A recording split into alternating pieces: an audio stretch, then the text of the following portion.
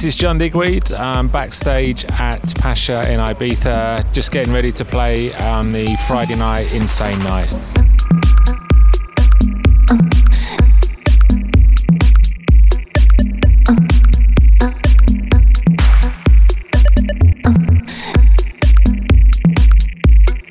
I like to play good quality house music, ranging from some of the deeper stuff that has some cool vocals in it to techie, tech house, and also some of the more driving uh, techno. So it all depends on what mood I'm in. I did the pre-party earlier on tonight at Mambo and just played, you know, nice, cool house music, perfect for people just as the sun's gone down and stuff like that. Whereas tonight I'm on at four in the morning, so the tempo will be up, a lot more energy within the music. So for me, uh, you know, I like to be a DJ that just plays the right music at the right time, not just going there with a pre-planned set. It's all about judging the time that I'm on and also the mood of the crowd and, and the best way to take that crowd with the with the style of music that I want to play. So I, I don't really want to be put in a box and be categorized and say, oh well, he's a techno DJ or he's a house DJ or he's a you know progressive. I want to be known as someone that plays just good quality music.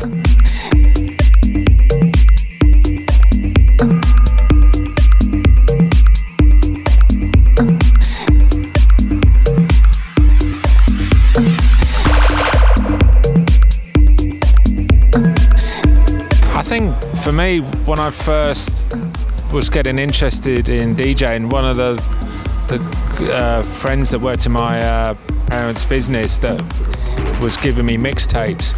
Uh, he was giving these tapes from uh, Kiss FM in New York that had mixes from Francois Kevorkian and Shep Pettibone. And those mixes still stay with me today because that was the thing that really triggered in my mind. You know, it was this hour long mix where there was no talking hardly and the music just blended into the next track. You know, and we're so used to listening to music on the radio in England where the record finished, someone spoke, and then the next record started.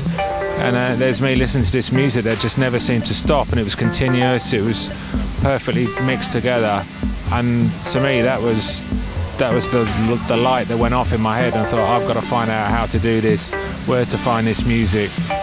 So you know, big inspiration for me was the know, Shep Pettibone master mixes on uh, Kiss FM, you know, with Francois Kevorkian and those kind of guys.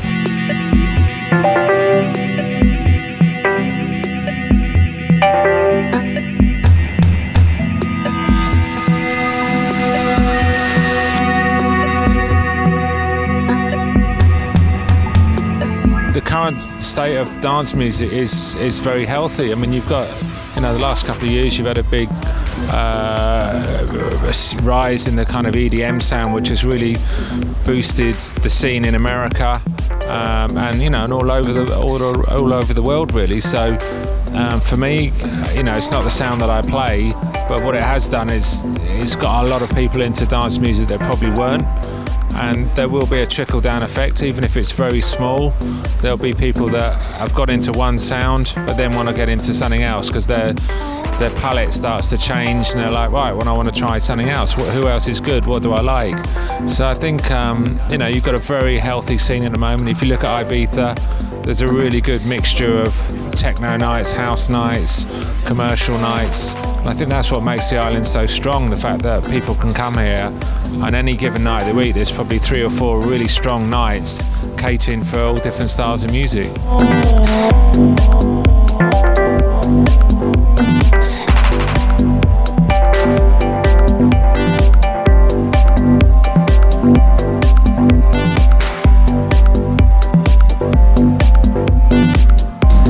You know, Pacha is a legendary club. Um, it's been around for 40 years. People know it all over the world.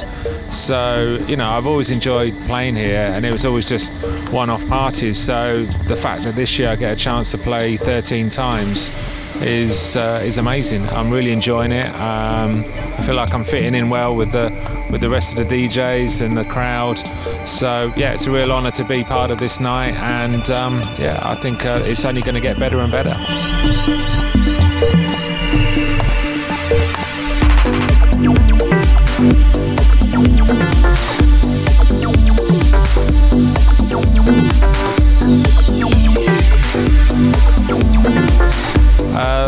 Latest release on Bedrock Records that I put out is called uh, Live in Slovenia, which is uh, a live album recorded when I did one of my gigs in uh, Slovenia. Came out in May, uh, so I've been touring that. Uh, that's that was a double album, and on Bedrock Records, which is the uh, the record label that I own, we've just released albums from Electric Rescue who's a uh, French producer, and on Monday we got uh, two Northern Ireland producers called the Japanese Popstars.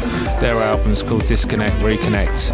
Uh, over the summer we got a whole array of uh, single releases on the label, and then there's a, there's a big project that I've been working on with Nick Muir, which is out in uh, October to coincide with the uh, Bedrock birthday. So lots going on over the summer with the record label, releases and everything else, but it's all good, really enjoying it, and the feedback on the label's been really positive, so really enjoying stuff at the moment.